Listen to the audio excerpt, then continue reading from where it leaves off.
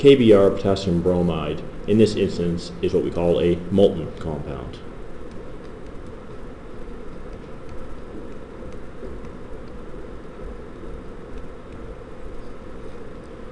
What's that mean? Well, it's melted, simple as that. Normally ionic compounds are solid at room temperature, but it's not a solid, so therefore it must not be at room temperature.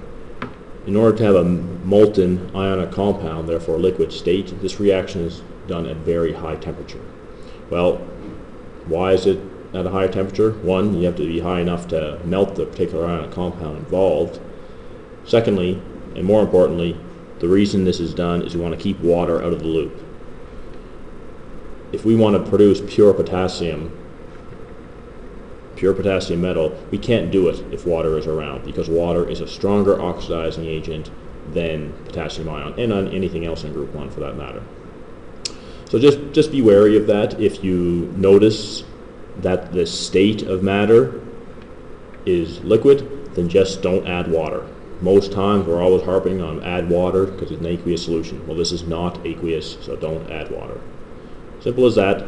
And my only two entities then are potassium and bromide, and therefore my only two available OAs and RAs. That's it. You can still treat, even though they're liquid state, you can still use your redox table in the same way. And as it mentions down here in this note, is we're dealing with molten substances, we would need inert electrodes to make this cell operate.